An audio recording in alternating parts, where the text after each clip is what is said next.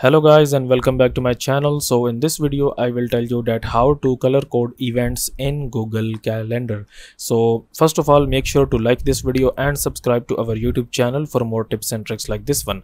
So here you can see that i have uh, these two events here basically. So if i wanted to change the colors of these events what i will do here let's suppose that this one is black. So i will just click on this event and i will click on this pencil icon edit event option.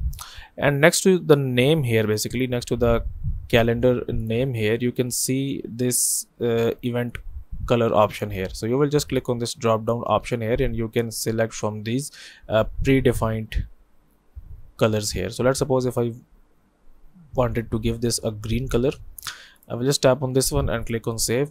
And now it's in green. And if i wanted to change this one click on edit event option and then from drop down menu click blue and tap on save. So now you can see that the colors of both events are now changed. So that's it for this video guys. If you find it useful kindly like this video and subscribe to my channel and i will meet you in the next video